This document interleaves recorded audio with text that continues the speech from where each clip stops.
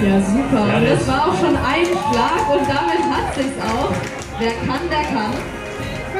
Und damit wird auch der erste Krug befüllt. Und es geht gleich weiter. Ja, und während unser Brauhaus-Team hier einmal Bier verteilt, würde ich sagen, fangen wir an, gute Musik zu spielen. Wir sagen herzlich willkommen im Brauhaus. Unsere Tanzfläche vorne ist gerne eröffnet. Wir spielen Musik klassisch zum Oktoberfest.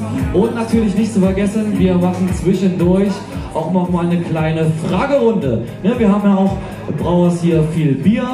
Und äh, dazu kommen ein paar Fragen zum Bier. Dann geht es mal so ein bisschen um AIDA. Dann geht es um ums Oktoberfest. Also alles.